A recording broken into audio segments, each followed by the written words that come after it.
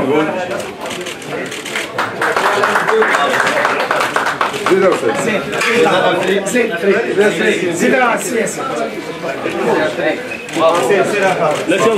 إحنا جد معتزين وفخورين بهذا الإنجاز اللي حققوه الأبطال ديالنا بحيث حصلوا على سبعة ديال الميداليات ثلاثة ذهبية جوج فضية وجوج نحاسية مع تحطيم رقم قياسي عالمي.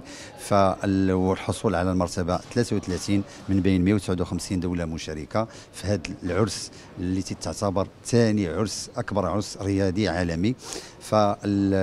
فهذا كانت فرصة ديال أنه ترفعت الراية ديال الوطن سبعة المرات في سماء ريو دي جانيرو وتعزف النشيد الوطني ثلاثة المرات. فككل مغربي غادي يكون فخور وفرحان بهذا الإنجاز اللي حققوه الأبطال ديالنا.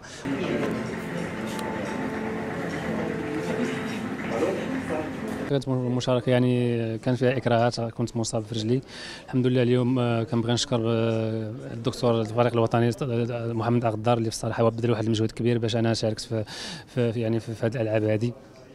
الحمد لله أنني استطعت أنني نجرب واحد الاقتصاد على حساب الاصابه ديالي ويعني وندير واحد التكتيك اللي خلاني فزت بميدالية فضية في, في ال 5000 متر.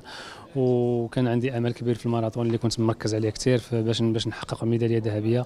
والحمد لله رغم الإصابة والاصرار والإصرار والإرادة الحمد لله ربي وفقني واستطعت أنني ندير واحد التكتيك اللي كان يعني واحد التكتيك يعني جيد استطعت باش نفوز به رغم الظروف المناخية كانت الحرارة وشوية الرطوبة. الحمد لله استطعت أنني في الأخير نتغلب على المنافسين ديالي ونهدي للمغرب بواحد الميدالية ذهبية اللي هي غالية. الحمد لله هذا أول إنجاز في حياتي الحمد لله. وأول مشاركة لي في بارا اولمبيا آه جوج ميداليات واحدة فضيه واحدة نحاسية في 200 متر وفي 400 متر. والحمد لله. آه شنو نقول لك؟ ما كنتش متوقع الفوز هذا. وفرحه الحمد لله. ملي كنجيب ميدالية ذهبية للمغرب ورقم قياسي عالمي في المسافة ديال 400 متر اللي كان في الحوزة ديالي. أنا الحمد لله فرحان اليوم وهذا الشيء ما جاش هكاك.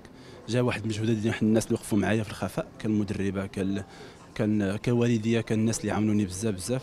آه، كنشكرهم من هذا المنبر وكنشكر جميع جميع اللي وقف والمواقع التواصل الاجتماعي وكل شيء اللي عاوني كانت ضاعت لي الميدالية في لندن اللي كنت خديت ميدالية برونزية. اللي كنت كنحس براسي ظلمت حيت كانت الإصابة اللي كانت حرمتني. هذا العام كنت معول قلت أنا خصني نجي خصني ضروري ضروري خصني ميدالية دور.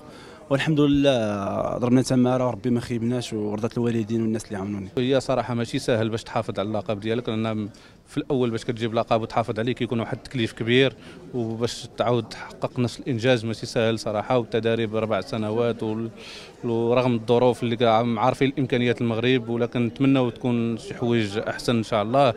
لو كان انك يكون بريباراسيون لأربع سنوات كيف ما كيديروا معظم المنتخبات وكاين آه، اهتمام بزاف الرياضات حتى عندنا الحمد لله كاين إمكانيات في المغرب ما نقروهاش. كاينين الخامة المادة الخام كاينين في الرياضيين. وخاص غير أول حاجة عطى الإعلام يساندنا لأن لسادنا الإعلام غيشوفوها الناس في, في ديورهم يعني غيخرجوا اولادهم من الرياضة. ما يبقاوش غير حابسينهم في الديور لا معاق ريح. الأولويات الكبيرة لأن إحنا ما عندناش يعني آه ما عندناش آه إمكانية على أساس نشتغل بنفس بنفس العمل اللي كنا تنقوم به. وبالتالي إحنا مطالبون يكون عندنا مركز تدريبي خاص مستمر للرياضيين. ويكون عندنا لجنة بارالمبيه وتعدد يعني الجامعات الجامعات ذات الإعاقات. وبالتالي آه، خصنا نشتغل على تكوين الأطر. وتكوين الأطر تبتدي يعني من معهد مولاي رشيد ومن آه، من من آه، المدرسة العليا للاساتذه التربية البدنية. وإن شاء الله سوف نبتدئ بوضع خطة استراتيجية جديدة لاستقطاب عدد كبير يعني من الرياضيين الجدد وتوجيههم في الرياضات اللي ممكن أنهم يجيبون فيها نتائج مستقبلا.